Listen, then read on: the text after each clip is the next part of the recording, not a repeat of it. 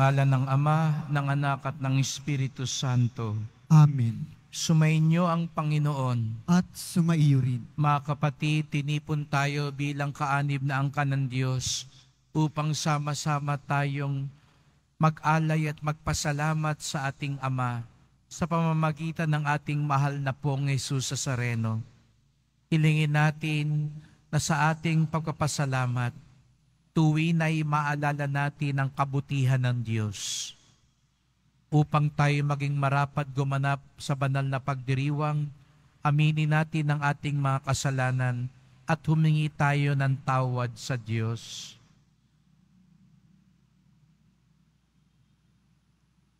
Sinugong tagapagpagaling sa mga nagsisisi, Panginoon, kaawaan mo kami. Panginoon, kaawaan mo kami. Dumating na tagapag-anyayang mga makasalanan ay magsisi, Kristo, kaawaan mo kami. Kristo, kaawaan mo kami.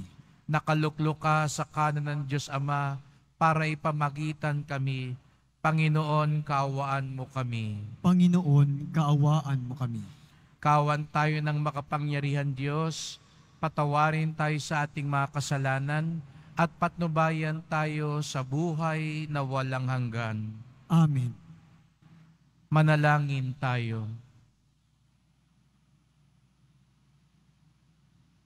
Ama naming makapangyarihan, dumudulog kami sa iyong pagmamahal upang kami nagsisipagbagong buhay at gumagawa ng kabutihan ay mamalaging wagas sa pagsunod sa iyong mga utos at ang pagkabuhay ng aming manunubos ay maipagdiwang naming mataos sa pamamagitan niya kasama ng Espiritu Santo magpasawalang hanggan. Amen. Magsiupo po ang lahat. Pagbasa mula sa aklat ng Exodo. Noong mga araw na iyon, sinabi ng Panginoon kay Moises, Balikan mo ngayon din ang mga Israelitang inialis mo sa Ehipto. Naroon at nagpapakasama. Tinalikdan nila agad ang mga utos ko. Gumawa sila ng guyang ginto.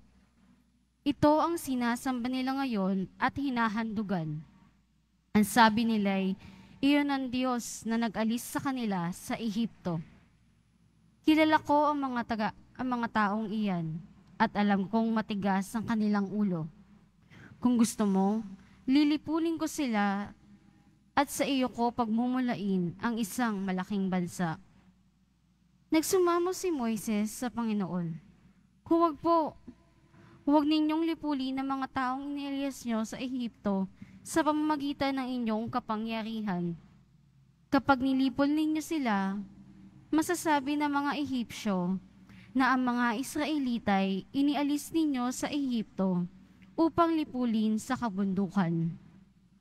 Huwag na po kayong magalit sa kanila at huwag na ninyong ituloy ang inyong balak na laban sa kanila.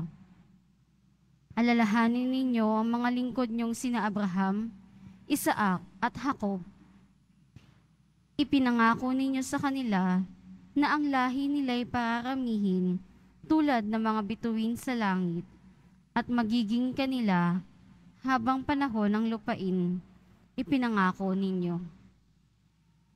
Hindi nga itniloy ng Panginoon ang balak na paglipol sa mga Israelita.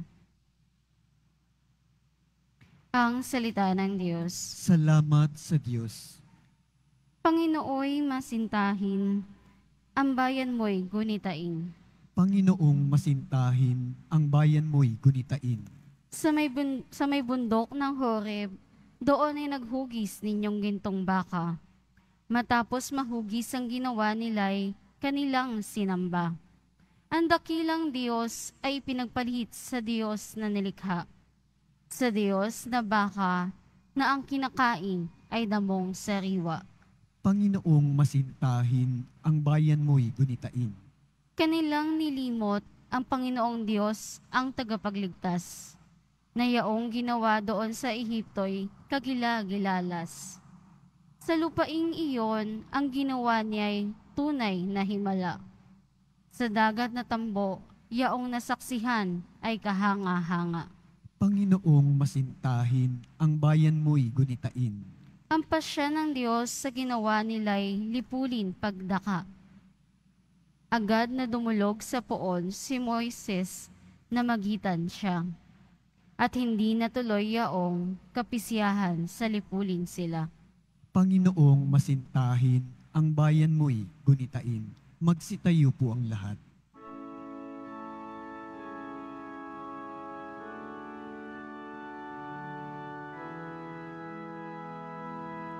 Nagpupuri kami son.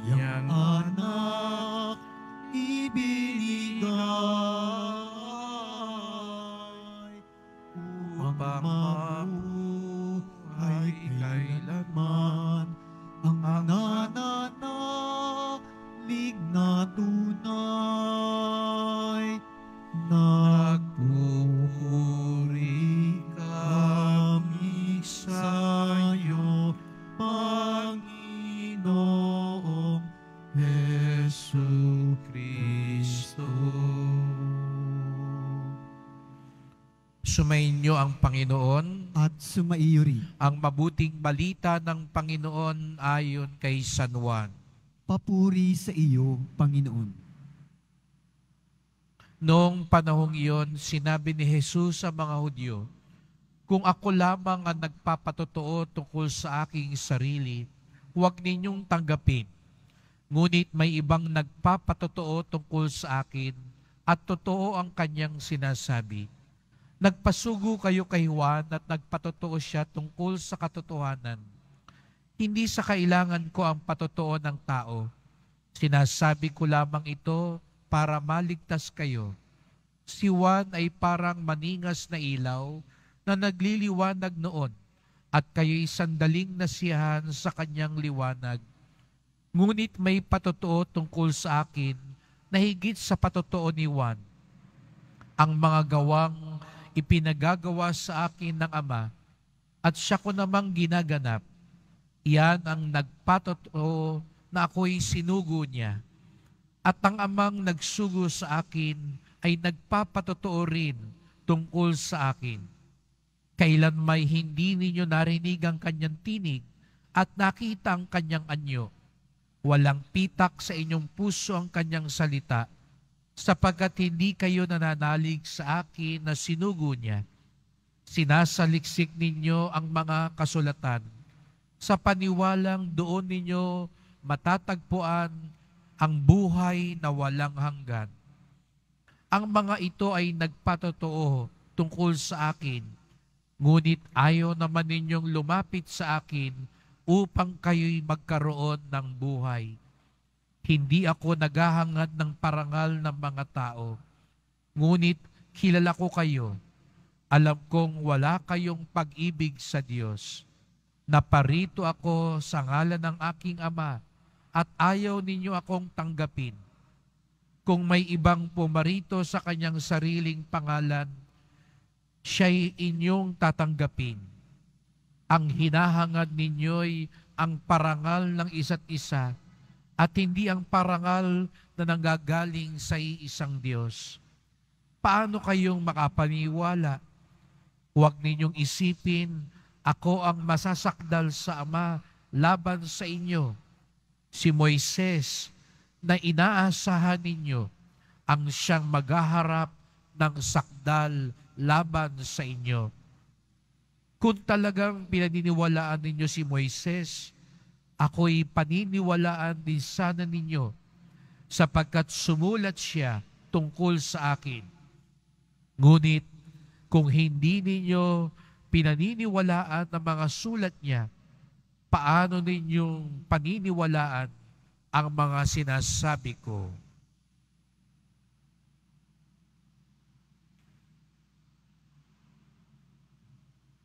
Mga kapatid, ang mabuting balita ng ating kaligtasan. Pinupuri ka namin, Panginoong Heso Kristo. Magsiupo po ang lahat. Magandang umaga po sa inyong lahat at maligayang pagdating sa tahanan ng ating mahal na pong Jesus Sareno. Binabati din natin ang mga nasa online, lalo na po mga may sakit, nag-aalaga sa may sakit, at mga kababayan, mga kadeboto natin mula sa iba't ibang panig ng bansa daigdig na nais sumama sa misa dito sa Quiapo, sa Basilica Minor at pambansang dambana ni Jesus Nazareno. Sa unang pagbasa po ay narinig natin na matigas na naman ang ulo ng mga Israelita. Matapos silang palayain ng Diyos mula sa Ehipsyo, matapos silang bigyan ng pagkain habang sila'y naglalakbay sa ilang, tumalikod na naman sila sa Diyos. Pinili na naman nila ang mga Diyos-Diyosan. Kaya nga sabi, nagalit na ang Diyos. Parurusahan na sila ng Diyos. Buti na lang nandun si Moises. At anong ginawa ni Moises para ibsan ang galit ng Diyos? Ipinaalala niya sa Diyos ang kanyang awa at habag. Ipinaalala niya sa Diyos ang mga mabubuti niyang ginawa sa Israel mula po nung una. At gano'n na nga ang nangyari, hindi na nga tinuloy ng Panginoon ang kanyang balak. Ngunit mga kapatid, may mas malalim na diwa ang pagbasang ito. Hindi po makakalimutin ng Diyos. Sa katunayan, hindi kailangan paalalahanan ang Diyos. Kumbaga, ang nais ipunto ng manunulat ay ang kapaliktaran. Ginugunita ni Moises, inaalala ni Moises ang lahat ng ginawa ng Diyos para maalala natin, hindi ng Diyos. Kaya nga, kung mapapansin ninyo, ang mga dasal, lalo na sa lumang tipan, sa mga salmo, parang ang Diyos ang pinapaalalahanan. Kanina lang sabi natin, Panginoon, ang bayan mo'y gunitain. Ngunit kung tutuusin, ang mga dasal na ito ang dapat magpaalala sa bayan, hindi sa Diyos. Hanggang ngayon sa misa,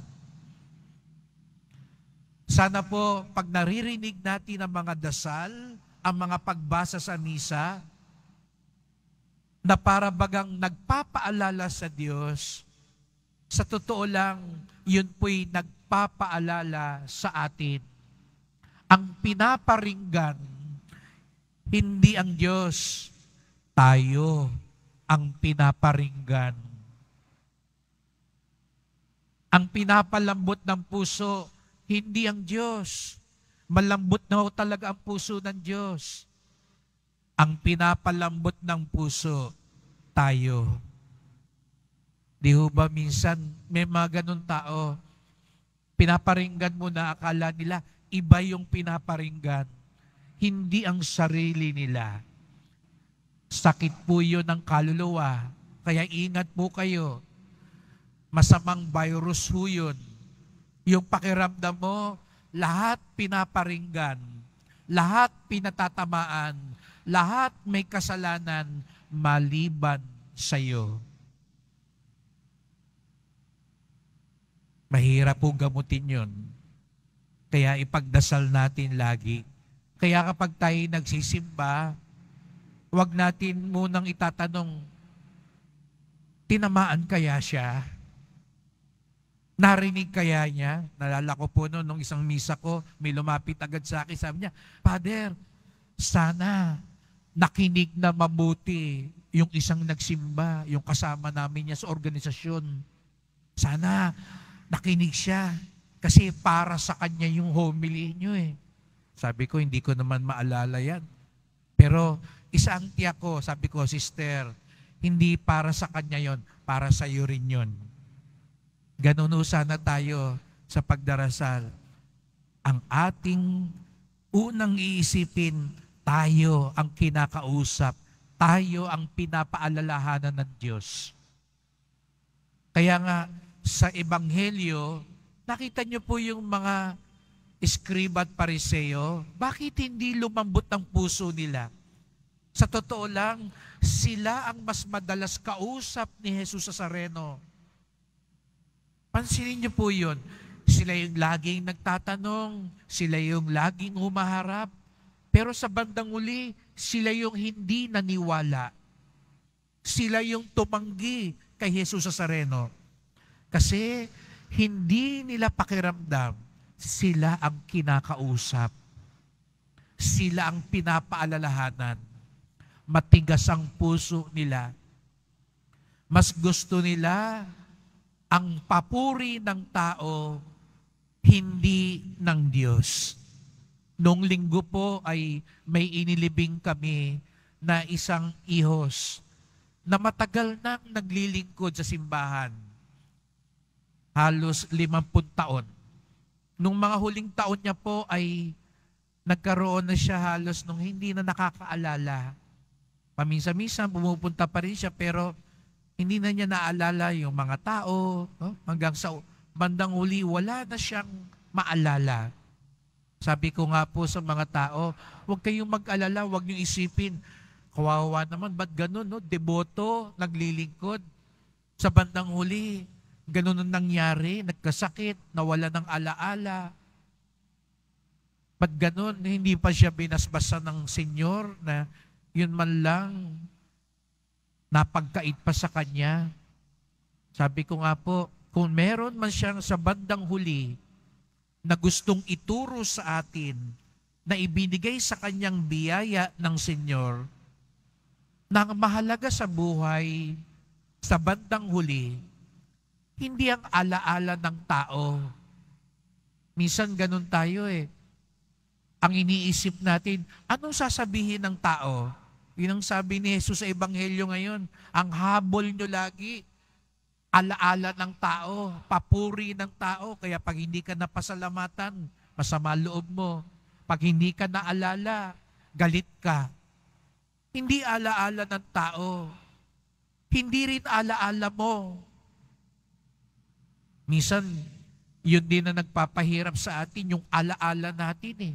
Inaalala mo hanggang ngayon, yung atraso sa iyo na matagal na. Inaalala mo yung hindi nagpasalamat sa iyo. Kaya minsan yung alaala din natin, nagpaparusa sa atin.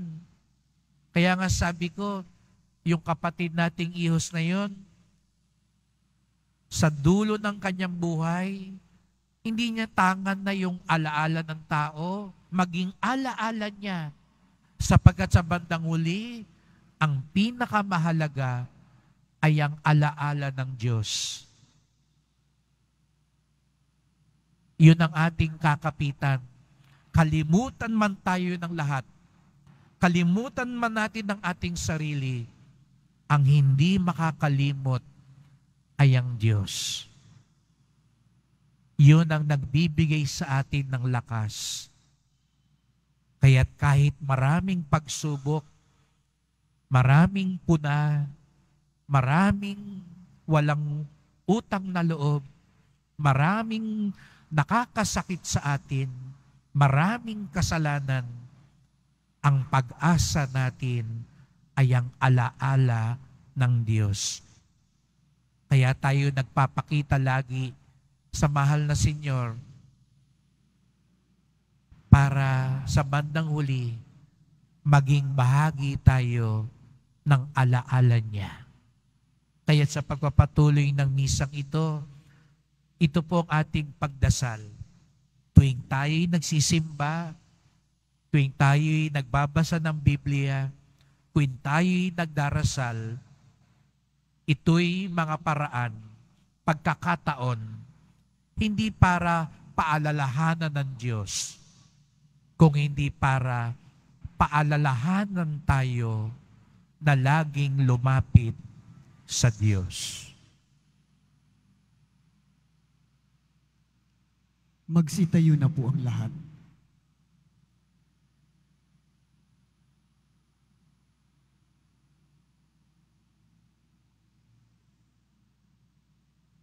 Minamahal kong kapatid, madalas ay lumilihis tayo sa daan ng Panginoon.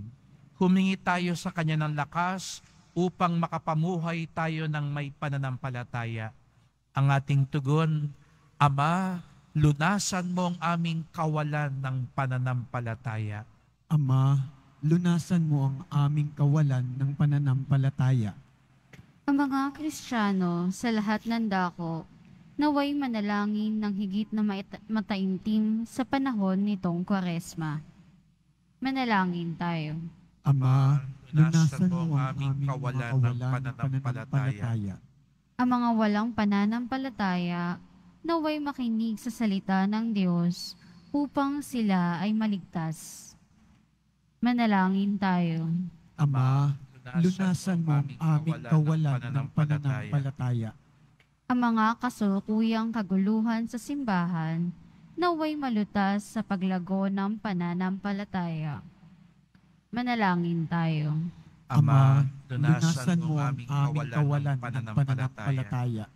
Ang mga mahihirap, may sakit, at mga may kapansanan, naway madama ang presensya ng Diyos sa kanilang buhay sa pagtataguyod ng kanilang mga pamilya at kaibigan. Manalangin tayo. Ama, lunasan mo ang aming kawalan ng pananampalataya. Tahimik nating idulog ang iba pa nating kahilingan.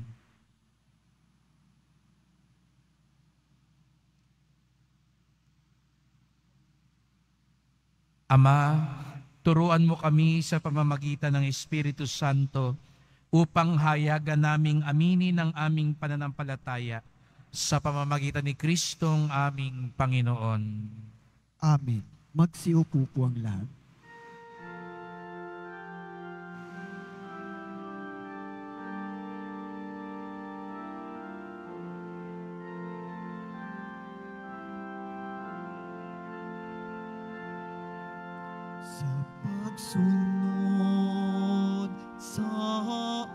Utos mo, nalulungkot akong labis, di masukat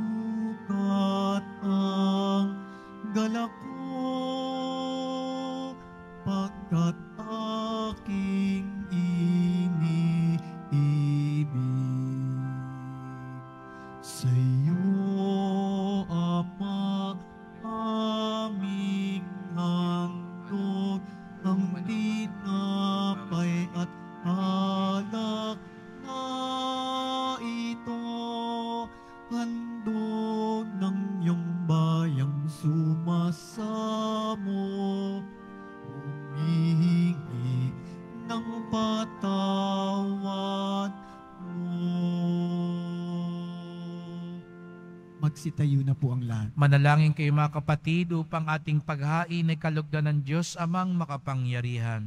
Tanggapin nawa ng Panginoon itong paghahain sa iyong mga kamay sa kapurihan niya at karangalan sa ating kapakinabangan at sa buong sambayanan niyang banal. Ama naming lumikha sa aming paghahain ng mga alay na ito, kami naway dalisahin sa aming kahinaan at patibayin nawa sa iyong kakayanan sa pamamagitan ni Yesu Kristo kasama ng Espiritu Santo magpasawalang hanggan. Amen.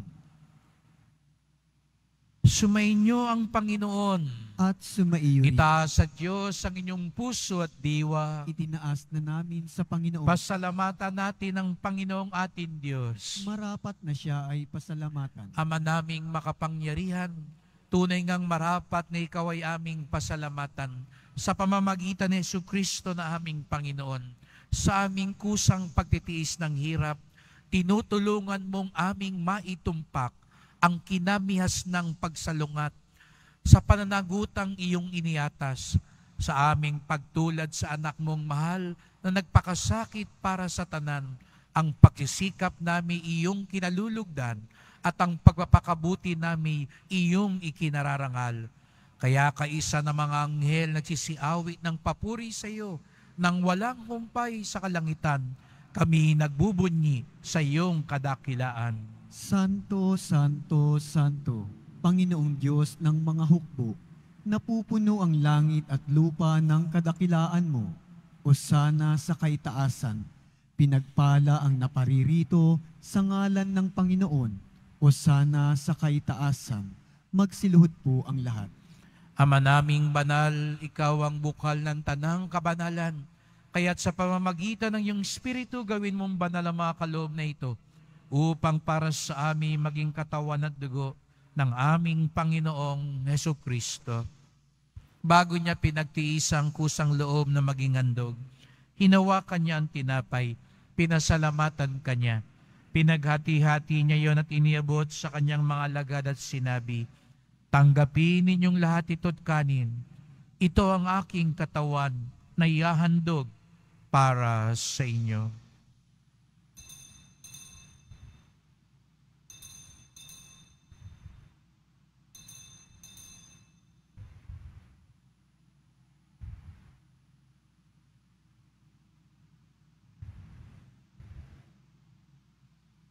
Gayon din naman na matapos ang apunan, hinawakan niya ang kalis.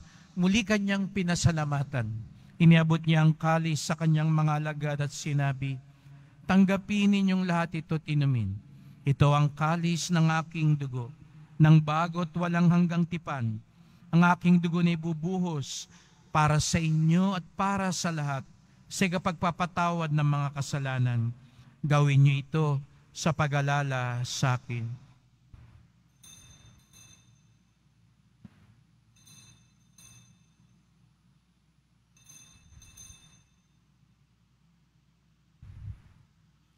Magsitayo na po ang lahat.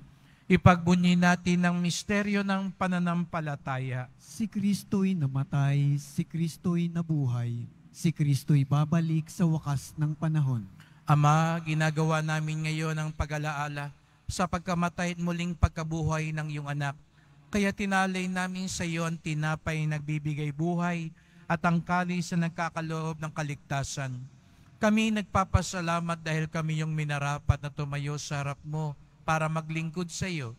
Isinasamo namin kaming magsalo-salo sa katawan at dugo ni Kristo'y mabuklod sa pagkakaisa sa pamamagitan ng Espiritu Santo. Ama, lingapin mong yung simbahang laganap sa buong daigdig. Puspusin mo kami sa pag-ibig kaysa ni Francisco naming Papa, ni Jose naming Obispo at ng Tanang Kaparian.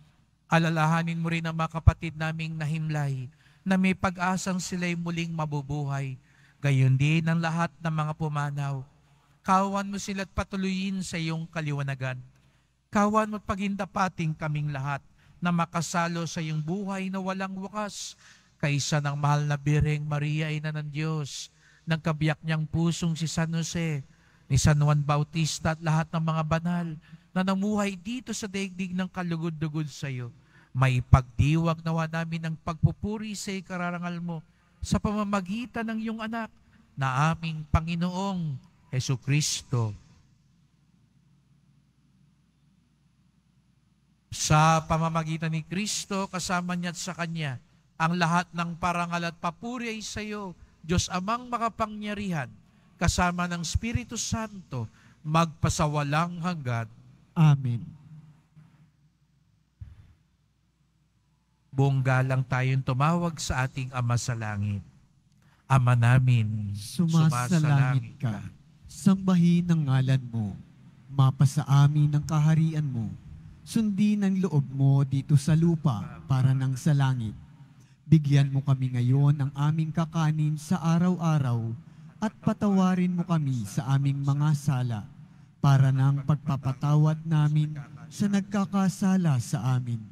At huwag mo kaming ipahintulot sa tukso at iadya mo kami sa lahat ng masama. Hinihiling namin kami adya sa lahat ng masama, pagkalooban ng kapayapaan araw-araw, iligtas sa kasalanan, at ilayo sa lahat ng kapahamakan, samantalang aming pinananabikan ang dakilang araw ng pagpapahayag ng tagapagligtas naming si Yesu Kristo. sapagkat iyo ang kaharian at ang kapangyarihan at ang kapurihan magpakailanman. Amen. O Panginoong Kristo, sinabi mo sa iyong mga apostol at ngayon sinasabi mo sa amin lahat dito, kapayapaan ang iniiwang ko sa inyo, ang aking kapayapaan ay binibigay ko sa inyo.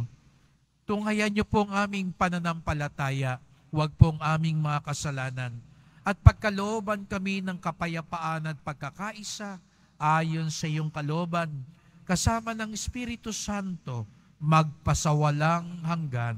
Amen. Ang kapayapaan ng Panginoon ay laging sumainyo. At sumaiyo rin. Magbigayan tayo ng kapayapaan ni Kristo sa isa't isa. Kordero ng Diyos na nag-aalis ng mga kasalanan ng sanlibutan, maawa ka sa amin.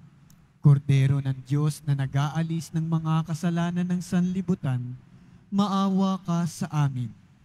Kordero ng Diyos na nag-aalis ng mga kasalanan ng sanlibutan, ipagkaloob mo sa amin ang kapayapaan.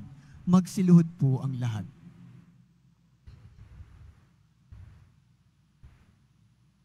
Narito ang ating Panginoong Kristo, ang ating lunas at tagapagligtas, ang kordero ng Diyos nag-aalis ng mga kasalanan ng sanlibutan, mapapalad ang inaanyayahan sa kanyang piging.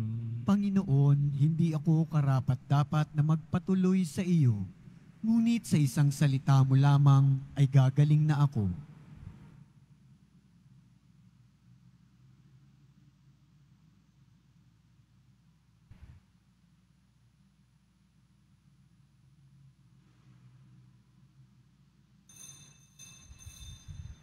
Para sa lahat ng tatanggap ng banal na komunyon, sasagot po tayo ng amin pagkasabi ng pari o ng lay minister ng katawan ni Kristo at isubo agad sa bibig bago umalis sa harapan ng pari o lay minister. Sumunod po tayo.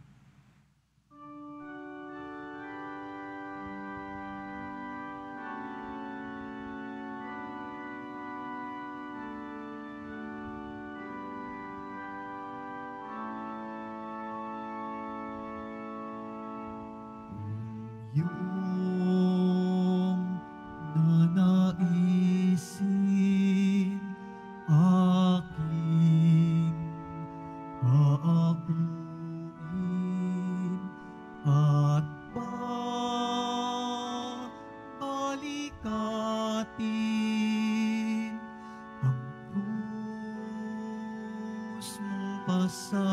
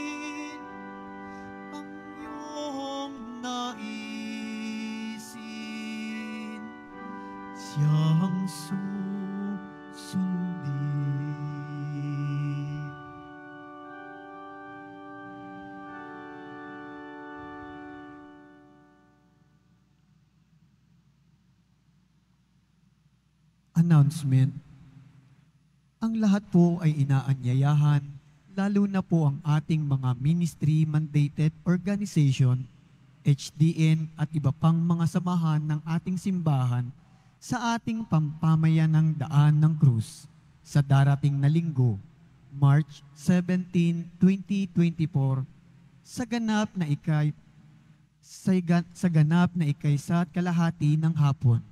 Magdala po tayo ng ating mga sariling krus. Makiisa po tayo. Inihahandog po ng simbahan ng Quiapo ang Nazareno Medalyon. Ito po ay nagkakahalaga ng 20 pesos at mabibili sa ating parish finance office. Ang Nazareno Medalyon tuwing biyernes at linggo ay mabibili rin sa mga booth o tent sa may BPI Quezon Boulevard at sa Benedict Building ground floor Evangelista Street mula alas 7 ng umaga hanggang alas 7 ng gabi. Mabibili pa rin po ang ating opisyal na imahe ng Jesus Nazareno. Ang large size po ay nagkakahalaga ng 2,500 pesos, ang medium size ay 1,000 pesos, at ang small size ay 600 pesos. Ang mga ito po ay mabibili lamang sa ating parish finance office. Ang mga oras po ng ating finance office tuwing lunes hanggang huwebes at sabado ay alas 8 ng umaga hanggang alas 4.45 ng hapon. Tuwing biyernes at linggo ay alas 7 ng umaga hanggang alas 6.45 ng gabi. Ang malilikom po na pondo ay gagamitin sa pagsasaayos ng ating Adoration Chapel at Baptistry. Paalala sa mga nagsisimba. Pagkatapos ng misa, wiwisikan po ang lahat ng banal na tubig. Pinakikiusapan ng lahat na manatili lamang muna sa inyong mga lugar, tanging sa Quezon Boulevard o sa Plaza San Juan lamang ang labasan ng lahat. Sumunod po tayo. Maraming salamat po sa inyong pagdalaw at pagsisimba sa Basilica Minor at Pambansang Dambana ni Jesus Nazareno. Magsita po, magsitayo na po ang lahat. Manalangin tayo. Ama naming mapagmahal, ang tinanggap naming banal na pakikinabang ay siya nawang magpalaya sa amin sa kasalanan upang ang dinadala namin sa budhi ay gumaan at ang ganap na kagalingan ay aming makamtan. Sa pamamagitan ni Yesu Kristo, kasama ng Espiritu Santo, magpasawalang hanggan. Amen. Salamat po sa inyong pagpunta sa Quiapo. Ingat po kayo sa pag-uwi. Salamat po sa mga naglingkod sa ating misa at sa inyong tulong sa simbahan. Mga pamisa, love offerings, online donations, sa patuloy pong pag-aayos, paglinis at mga gawain sa ating simbahan.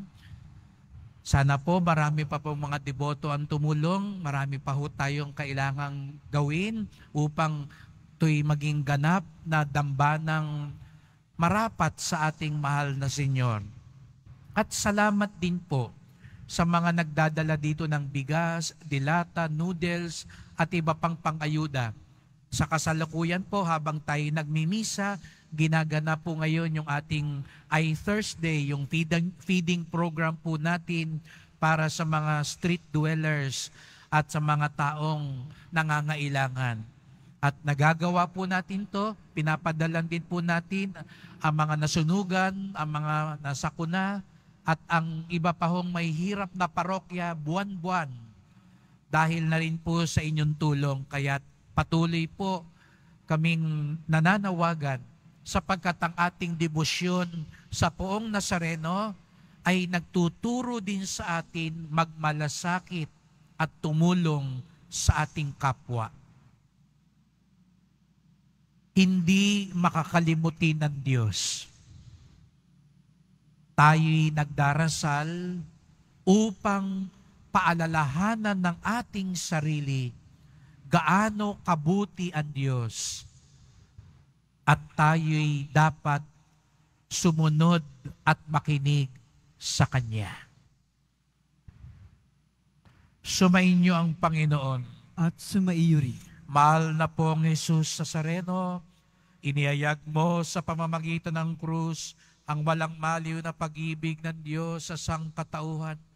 Pakinggan mo ang kahilingan ng iyong angka na nagsusumamo sa iyo. Makamtanawa nila yung katugunan at tanggapin ng kasagutan ng may utang na loob na tinatanaw.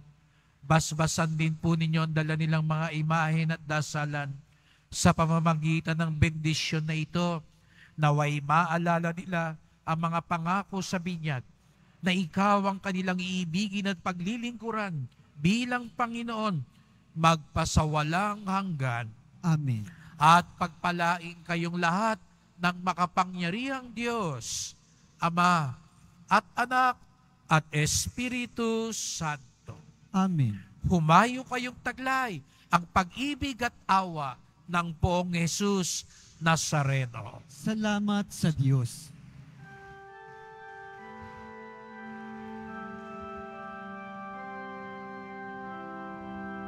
Nuestro Padre Jesús Nazareno, sinasamba